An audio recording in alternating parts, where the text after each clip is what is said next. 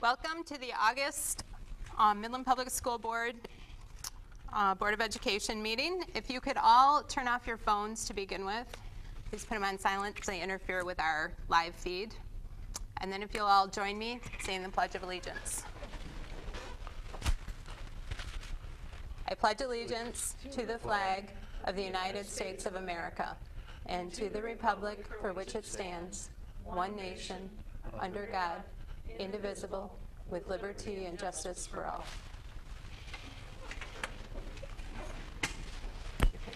Call the roll, please. Yep. President Wasserman, absent tonight. Vice President Branstad, Here? Secretary Baker, here.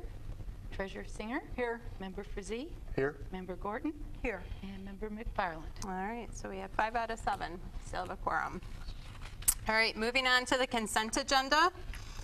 I'll read through it. Item 2.1, approval of the meeting minutes from the July 20th regular meeting. Um, The following persons are recommended for employment. We have two new teachers. Uh, Following staff members have announced their resignation.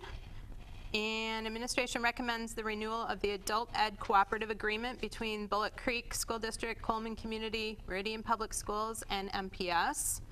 Board approval sought for Midland High School to purchase a new portable stage to replace the portable stage that has been used for um, many years. And the funds will be taken from the MHS All-In Club and the Master Chemic Club. Administration is seeking approval to deliver a purchase order to Duncan Video of Sterling Heights as part of the infrastructure updates in the technology bond.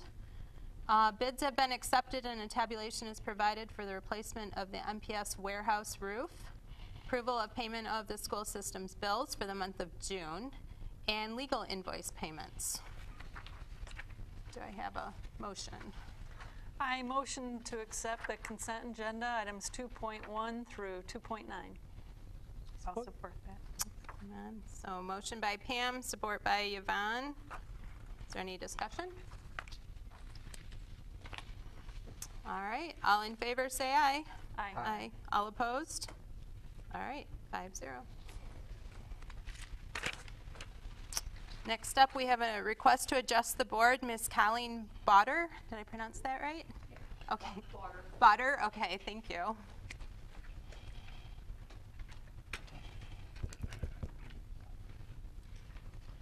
Um, What I'm coming up before the board is, Can, There- can you state your name and, sure, Um, I'm Colleen Water, and I am a mother of an MPS, uh, soon-to-be graduating senior. And my concern, and I have already addressed it with the uh, superintendent by email, um, is that the, both high schools graduate on the same time, same night. And our, under- my understanding from um, Mr. Sharrow Yes. is that it has just been done that way traditionally for some time, and that the reason it was changed to the Friday was for uh, people coming in from out of town for the high school graduation. This is going to negatively affect my family because I have a nephew graduating at Dow High the same night that my son's graduating from Midland Public Schools. And my parents, um, who are older, in their 70s and 80s, um, would like to attend both graduations, and they're not going to be able to do that. And um, my understanding is, is that supposedly there's never been a complaint by anyone that this has been a problem in the past. My contention is, is that by the time people noticed that it was a problem, it was too late to do anything about it.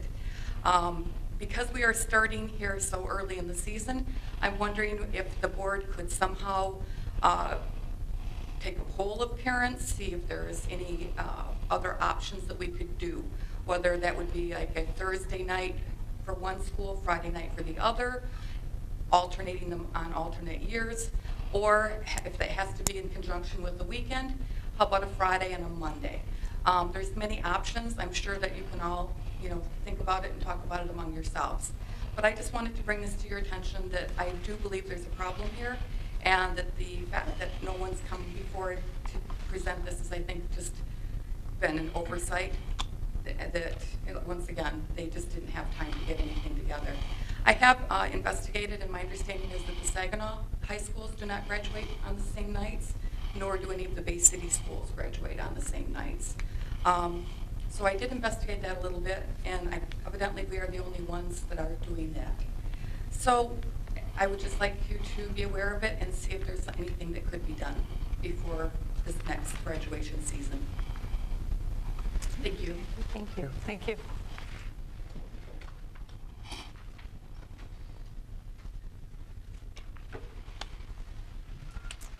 I can get back to her um, Okay. in the future here.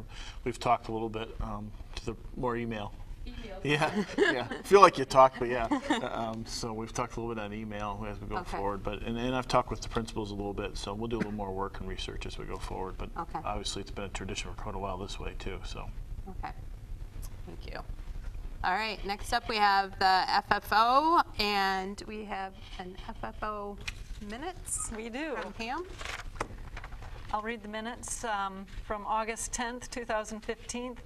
Uh, The June financial reports were reviewed. The bond fund executive report that has been added to the monthly financials was explained and discussed. Bond update, Mr. Cooper shared the details of the purchase of a cable cast server used by the television station. The current server has reached the end of its life and is no longer supported by the manufacturer.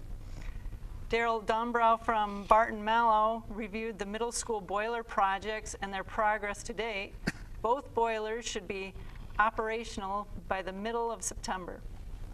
Dale Jerome from French Associates reviewed the Central STEM Elementary School project. He discussed the schematic design session meetings held earlier that day with various stakeholders of the new elementary. He also reviewed the current schematic designs and next steps in the process.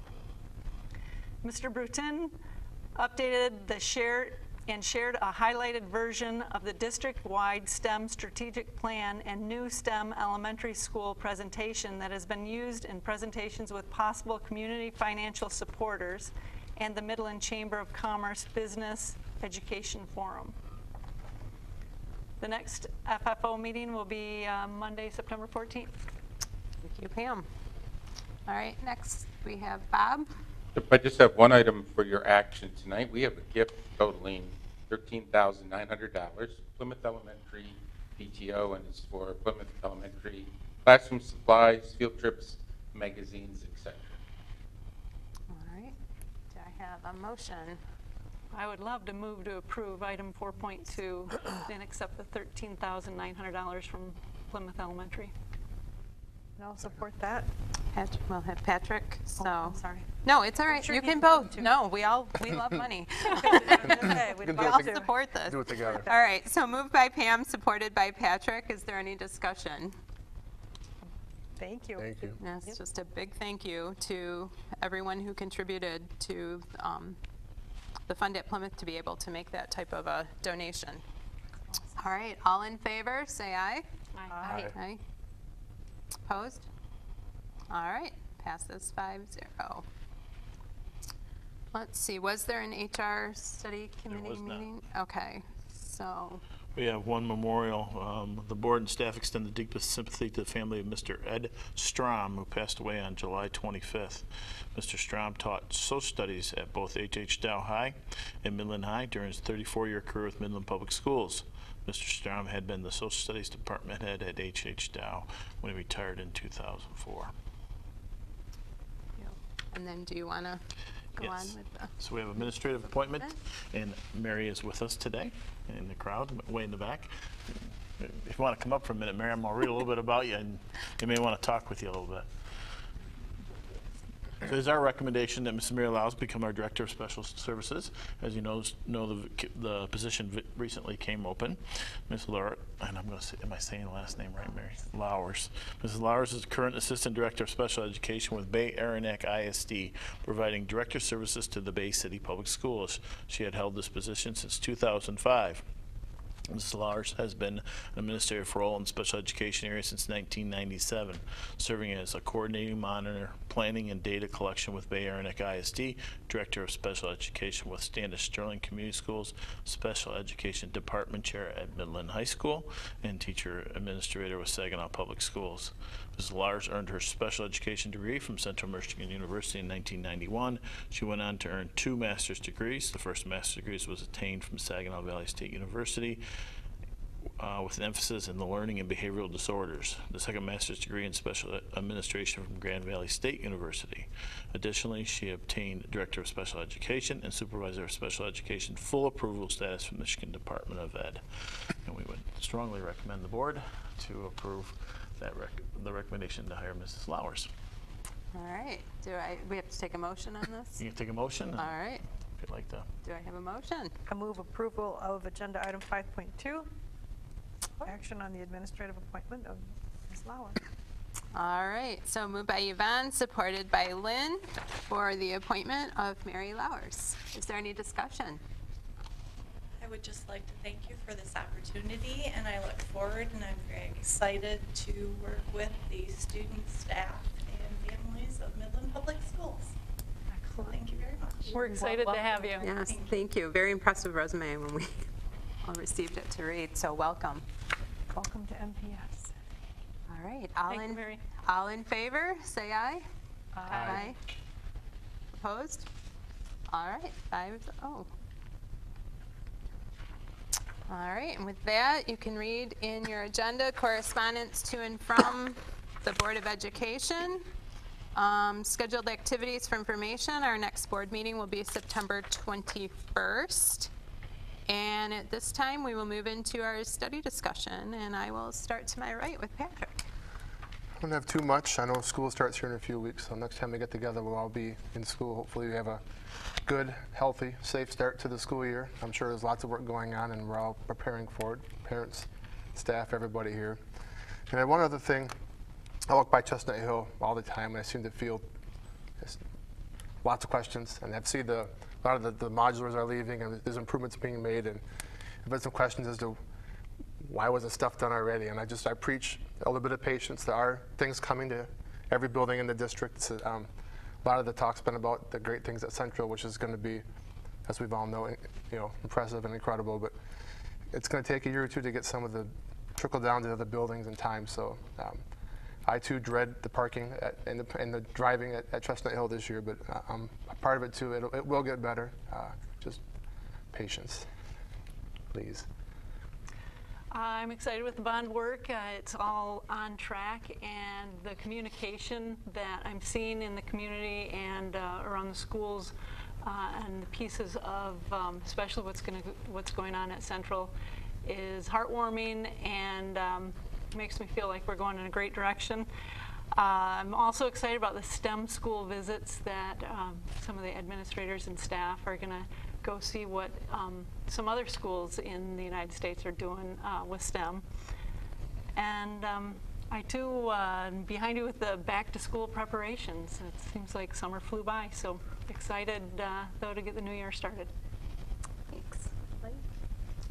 Um, Yeah, not a whole lot. It's been fun, as everybody else said, to go around town and see what's going on. My daughter and I drove by Northeast today, and she saw that they were digging up the modulars and, and getting those ready to go. She says, "I didn't like those anyway, Mom." Said, "One time there was a skunk under it, and they wouldn't let us leave." And so she goes, "You feel awkward as a middle schooler anyway, but then you had to smell like skunk." so, so and so they've seen their they've seen their better days. So. Um, and so there's lots of exciting things going on. And like Patrick said, we have to be patient. We'd all like, like it to be done now, but uh, little bits at a time and it'll all, all add up. Um, I'd also like to um, just bring everybody's attention to the Our Schools publication, which are, uh, we're in the newspaper and are online. It's a great way to find out what's happening in our schools uh, with the students and the staff and, and things beyond the, the actual building.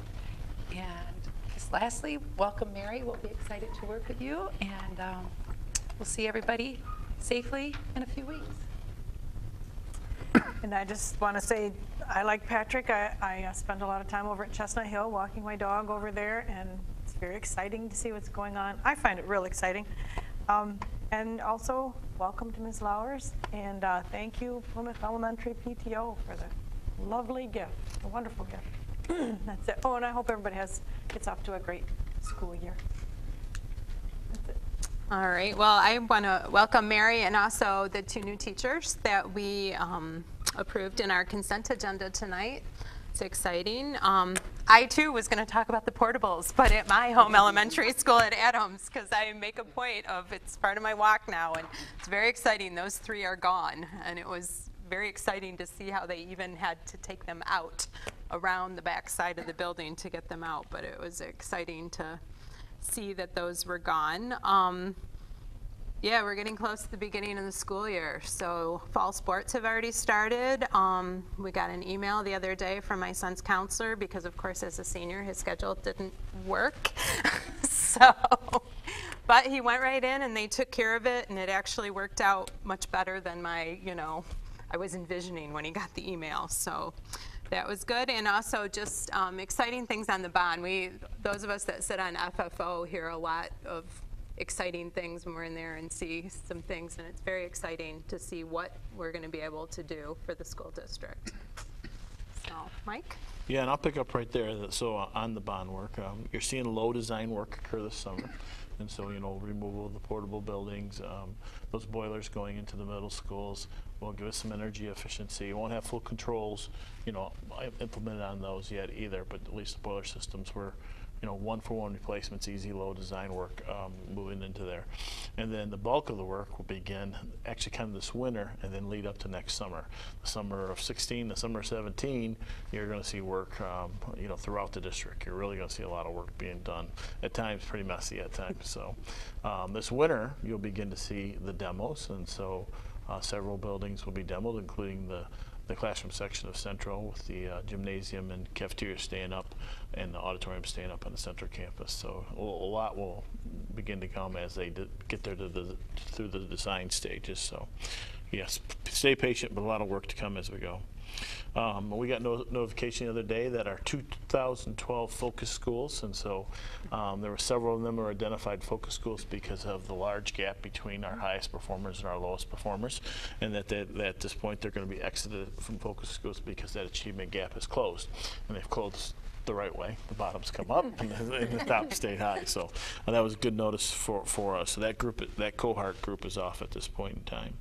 Um, tonight, after, uh, we're going to go into closed session because we have uh, our final contract to improve um, with our maintenance and ground workers. Um, so we're, we'll talk about that a little bit and then come out of the closed session to take a vote tonight. The STEM school visit, we are going to Booker T. Washington Academy in Champaign, Illinois. Um, it's one of two schools that we have found that were designed from the ground up to be a STEM elementary school. Um, they also have something going on that we are interested in, in that they partner with the University of Illinois, being in Champaign. And so um, their pre-service teachers go there and work with the students and learn about STEM part of our STEM strategic plan is we hope to build those same partnerships with at least three universities that we know of at this point in time.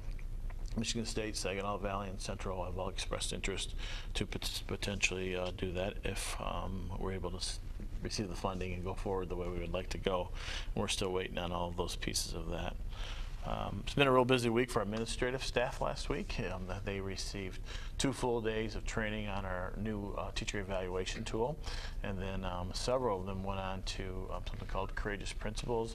It was a training put on by Deloitte, but it was uh, funded and brought in by Dow Chemical Company. So um, our, our principals were busy learning last week uh, as we went through.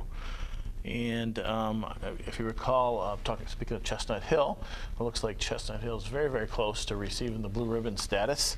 And if you know much about that, it's quite a prestigious process to get through all of those pieces. And we're in the last stage of that. And um, we're pretty sure that last stage is going to be just a hurdle, and, and we should get through that. Is that accurate, Mr. Rudin? And so um, we think we'll hear probably sometime this fall that Chestnut Hill will be receiving the blue water, s- uh, blue ribbon status. So very proud of that one. And that is all I have for you tonight. All right, so at this time, I will entertain a motion to go into closed session um, to do the MISESPA negotiations. Just to let everybody know, we'll go into closed session, and when we come back, the only thing we will do is potentially vote. There will be nothing else um, in the meeting, and we'll just close the meeting. Move to go to closed session. All right. Support that. All right, moved by Patrick, supported by Yvonne to go into closed session. All in favor, say aye. Aye. All right. Oh, opposed, I'm sorry, opposed. All right.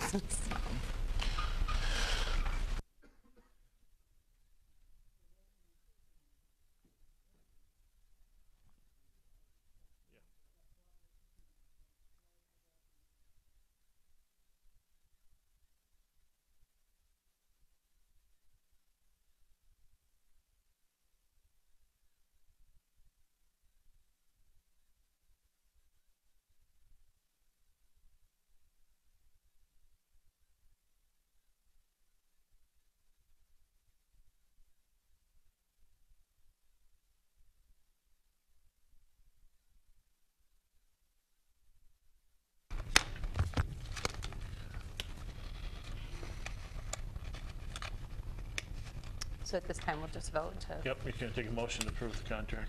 All Accept. right. We'll wait for Roger to come back in. And the, and the scouts. Oh, and this.